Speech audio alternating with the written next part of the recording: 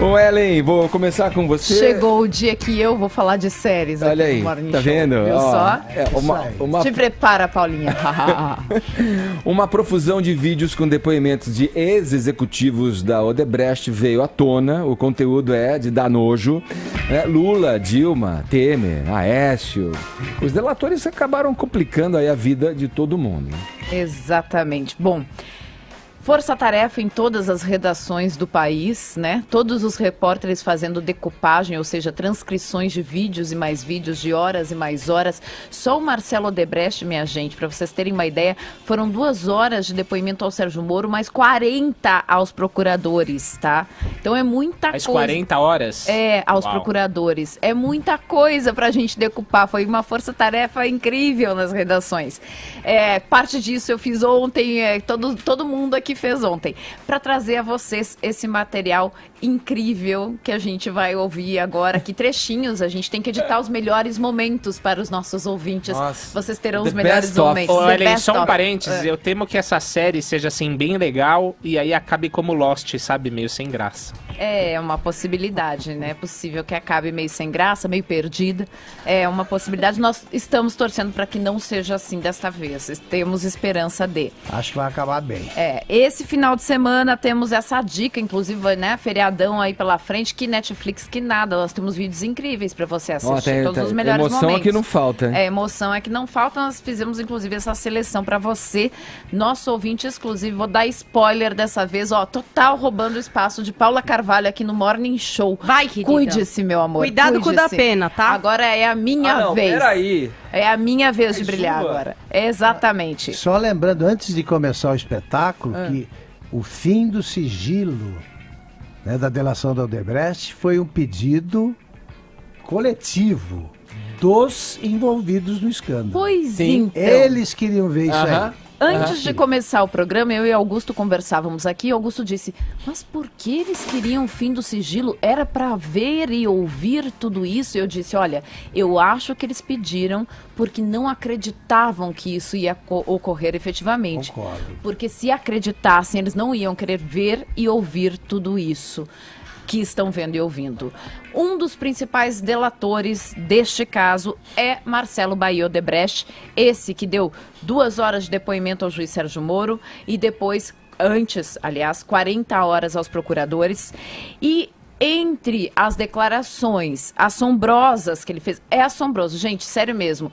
É, eu que fiz parte dessa decupagem ontem, mas os colegas também fizeram outras partes, saí com dor de estômago, falando sério, não é nem exagero, saí com dor de estômago daqui ontem de ouvir o que eu ouvi.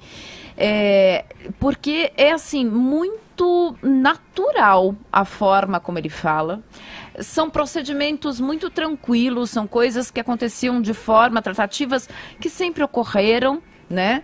E ele diz o seguinte: um dos depoimentos que ele presta, ele fala que tanto a ex-presidente Dilma Rousseff quanto o ex-presidente Lula sempre souberam das tratativas de pagamento ilícito. E ele diz que em um dos depoimentos prestados, né, da, da, da colaboração premiada, é, que a ex-presidente da Petrobras, Graça Foster, e a presidente Dilma foram informadas sobre aqueles pagamentos que estavam correndo no âmbito da Petrobras. Então ele fala ali que elas sabiam o que, que ocorria dentro da Petrobras. E aí eu falei, aí eu falei, mas eu até me lembro, Márcio, foi só PMDB? Entendi. Aí ele ó, você foi prender, no final o assunto foi conduzido pelo Diniz, que, que faleceu, não vai dar problema, tá? Porque você diz até que o Diniz. Foi. E eu falei, foi só PMDB, porque eu vou ter problema com graça. Aí ele falou, não. O PT sabia e, tinha, e também recebeu uma parte. Aí eu, de certo modo, eu digo, agora eu tenho um argumento para conversar com ela.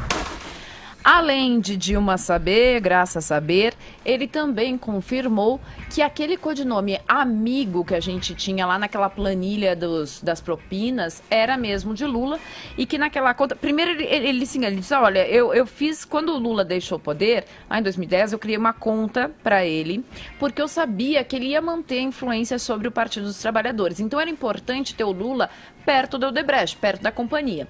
Então a gente fez uma conta com o codinome amigo, que era uma conta destinada ao Lula, para que o Lula usufruísse daquele fundo. Que o viriam Lula, demandas. Isso. né? O Atender Lula as demandas do Lula. necessariamente nunca me pediu pessoalmente o dinheiro. Mas esse dinheiro é, eu sabia que ia para ele, sobretudo quando veio uma solicitação para o Instituto Lula. O fundo, segundo ele, primeiro ele fala em 35 milhões, depois em 40 Ah, é. milhões que foram depositados nesse fundo. O Lula nunca me pediu diretamente essa informação, eu combinei via Palocci. Óbvio que ao longo de alguns usos ficou claro que era realmente por Lula, porque teve alguns usos que ficou evidente para mim que era o uso. Teve alguns que o pedido era feito e saía via espécie. Aí o Palocci pedia para eu descontar do saldo amigo. Sim. Então, quando ele pedia para eu descontar do saldo amigo, eu sabia que ele estava se referindo a Lula, mas eu não tinha como comprovar.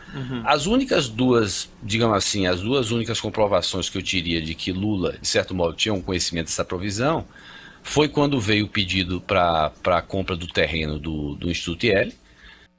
que era o Instituto Lula, né? Né? Aí o pai do Marcelo deu depoimento também para os procuradores, o Emílio Odebrecht, que é o patrono ali da empresa, e disse que sempre tratou com o Lula, tinha pedidos feitos para o Lula diretamente para as campanhas, e ele falou o seguinte: olha. Essa corrupção de Caixa 2, isso tem pelo menos três décadas que está acontecendo aí no país. O que nós temos no Brasil não é um negócio de 5 anos, 10 anos atrás. Nós estamos falando de 30 anos atrás. O senhor está se referindo a esse sistema Ao de se fazer sistema de- política e de se fazer negócio com o Estado. Isso é que existe. Então, tudo que está acontecendo era um negócio institucionalizado. Era uma coisa normal. Em função de todos esses números de partidos. Onde o que eles brigavam eram por quê? Por cargos? Não, todo mundo sabia que não era. Era para orçamentos gordos que eles queriam orçamento. Ali colocavam, os partidos então colocavam seus mandatários com a finalidade de arrecadar recursos para o partido, para os políticos. A única reclamação que Emílio chegou a fazer para o ex-presidente Lula é que o Partido dos Trabalhadores estava com a goela muito aberta, passando de jacaré para crocodilo. Quer dizer, o hábito do Caixa 2 era comum, isso já acontecia há três décadas, tudo bem. Né? Até aí estava normal. O problema é que o PT estava com a goela muito aberta. Além disso, os executivos da Odebrecht, ex-executivos da Odebrecht que fizeram as delações, também relataram aí que o ex-presidente Michel Temer comandou em 2010, quando era candidato a vice-presidente, uma reunião aqui em São Paulo, quando ele acertou o pagamento de 40 milhões de dólares de propina. É, relativos a, um, a 5% de um contrato com a empre, da empreiteira da Odebrecht com a Petrobras. Nessa reunião aí participaram também Eduardo Cunha, Henrique Alves é, e o lobista João Augusto Henriques. Também foram relatadas propinas aí para Aécio Neves, no âmbito quando ele estava no governo do, do estado de Minas Gerais, e era um, é, dinheiro que seria usado na campanha de Anastasia. E entraram aí ex-governadores, ministros, enfim, ex-presidentes. Sobrou pouca gente.